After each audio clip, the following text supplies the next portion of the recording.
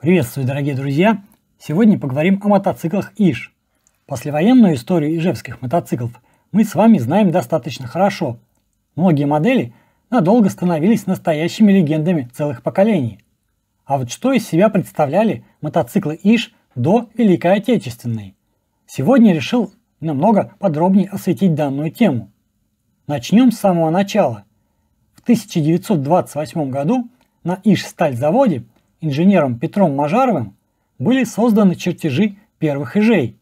Так появилось целое семейство транспортных средств. В 1929 году по данным чертежам собрали первые прототипы советских мотоциклов ИЖ. Ходовые версии техники получили названия ИЖ-1, ИЖ-2, ИЖ-3, ИЖ-4 и ИЖ-5. Это были различные по мощности и конструкции мотоциклы, но в серию ни один из них так и не попал, хотя мотоциклы были собраны и прошли испытания в реальных условиях суровых дорог. ИШ-1 и ИШ-2 имели 1200-кубовый V-образный четырехтактный двигатель мощностью 24 лошадиных силы. ИШ-3 получил 750-кубовый двигатель и карданную передачу. Эти мотоциклы должны были заинтересовать в первую очередь Красную Армию. А вот ИШ-4 разрабатывался как народный, доступный и простой мотоцикл. 200-кубовый одноцилиндровый двухтактный двигатель, карданная передача, 4,5 лошадиные силы и компактные размеры. На ИШ-5 предполагали установить четырехтактный одноцилиндровый двигатель объемом 400 кубических сантиметров, мощностью 8 лошадиных сил, а в качестве главной передачи использовали цепной привод.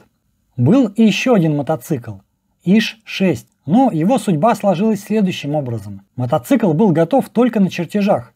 Собрать в металле прототип так и не смогли, поскольку Ижевский завод в этот момент занимался совсем другими вещами.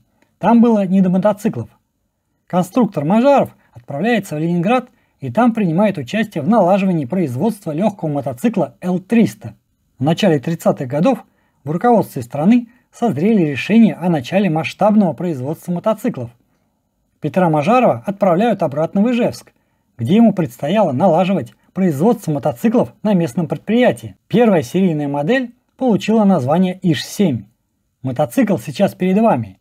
Именно с него и началась масштабная история ижевского мотоциклетного производства. Сборка стартовала в 1933 году, но тогда выпустили всего несколько мотоциклов, а уже в 1934 году собрали более сотни. С каждым годом уровень выпуска возрастал. Модель получала улучшения и избавлялась от детских болезней. В топовых комплектациях, как здесь, были предусмотрены даже зимние опции в виде лыж и валенок. Тогда эти допы устанавливались прямо на заводе, а дилеры не навязывали ничего лишнего, поскольку это было чревато неприятностями с НКВД, ведь времена были суровые.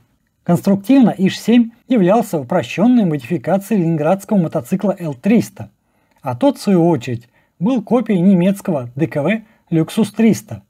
В качестве силового агрегата выступал 300-кубовый бензиновый мотор мощностью всего 5,5 лошадиных сил – Трансмиссия представляла собой трехступенчатую коробку и цепной привод. Переключение передач осуществлялись вручную, длинным рычагом под правой рукой.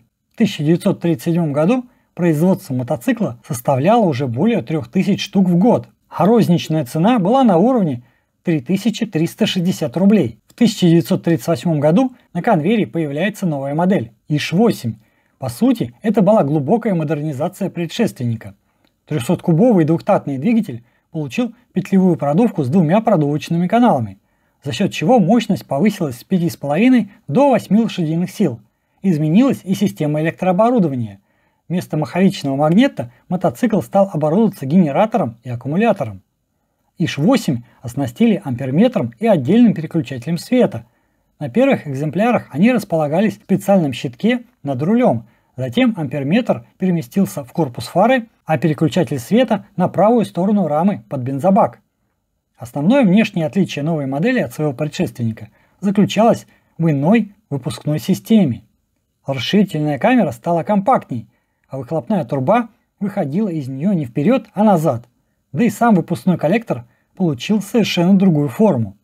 Что касается трансмиссии и подвески, то там особых изменений не произошло – Заднее колесо по-прежнему не было подрессорено. Передняя вилка параллелограммного типа. Получив довольно большой опыт реального производства, ижевские конструкторы задумались о более серьезной модернизации следующей модели. Началась работа по созданию ИЖ-9. Новинка появилась в серии уже в 1940 году. В очередной раз переделали двигатель. Изначально планировали увеличить рабочий объем с 300 до 350 кубиков, но потом от этой идеи отказались. Самым заметным новшеством стало появление двух выпускных окон и, соответственно, двух выхлопных труб. Да, именно ИЖ-9 стал первым серийным ижевским мотоциклом с двойным выхлопом. Это позволило улучшить охлаждение цилиндров и головки блока, сделать работу двигателя более стабильной и увеличить мощность до 9 лошадиных сил. Была применена более прочная и надежная вилка переднего колеса, существенно увеличили диаметр переднего тормозного барабана, что повысило эффективность тормозов. По многим показателям ИЖ-9 не уступал иностранным мотоциклам того времени. Однако мировая мотопромышленность развивалась бурными темпами, и то, что вчера казалось современной идеей, через месяц устаревало. Последняя предвоенная модель получила название ИЖ-12. Это был настоящий прорыв для своего времени. Мотоцикл получил массу технических новшеств. Впервые на серийных ижевских мотоциклах появилось ножное переключение передач. Появился мощный 350-кубовый бензиновый мотор, развивающий 14 лошадиных сил. Сам двигатель был четырехтактным. Привод ГРМ представлял собой блок шестеренок с толкателями, штангами и клапанами. Причем одноцилиндровый двигатель был верхнеклапанным, а система смазки с сухим картером. В течение 1940 года была выпущена первая пробная партия мотоциклов, всего 49 штук. Серьезные инновации в конструкции требовали довольно длительной подготовки всех производственных процессов. Масштабное производство ИЖ-12 должно было стартовать летом 1941 года, но из-за начала Великой Отечественной все производственные мощности были срочно переформатированы под нужды фронта. В итоге перспективная модель мотоцикла оказалась последней предвоенной истории Ижевского предприятия. На сегодняшний момент сохранилось всего два или три мотоцикла ИЖ-12. Что интересно, по ИЖ-12 минимальное количество информации, поскольку в архивах даже нет привычных книг по эксплуатации и обслуживанию этой модели, хотя по ИЖ-7, 8 и 9 эта информация имеется. Сейчас этот красавчик стоит в музее техники Вадима Задорожного. Здесь я его и обнаружил. Ну что, мои дорогие друзья, надеюсь, вам было интересно. До новых встреч на просторах интернета.